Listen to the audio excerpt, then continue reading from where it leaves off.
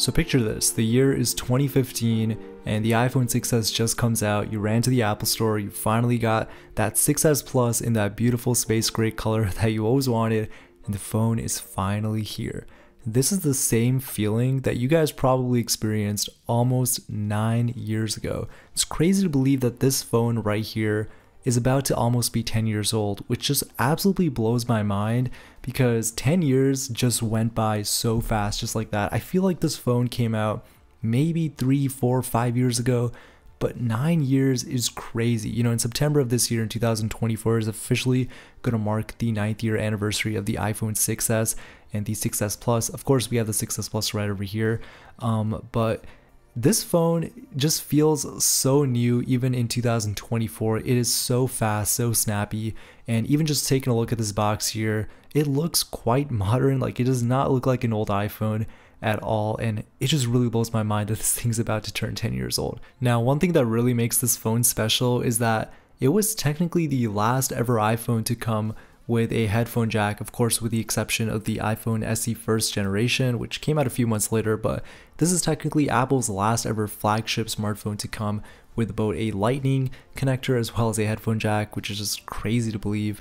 And uh, for those who don't remember, you know, this thing was just super thin. It had this crazy fast uh, touch ID sensor, so some people couldn't even read their notifications. Like that's how fast it used to be.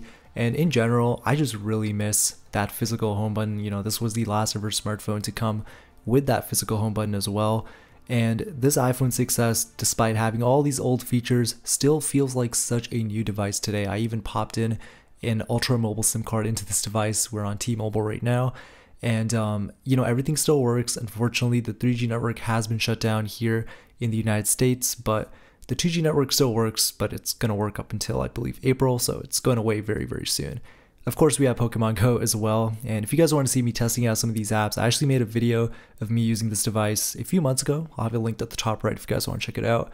But overall, guys, it just honestly blows my mind. Like, I cannot believe nine years went by just like that. I was in high school when this thing came out. I'm now, graduated from college, and it just, like, time just flies. It's crazy to think about.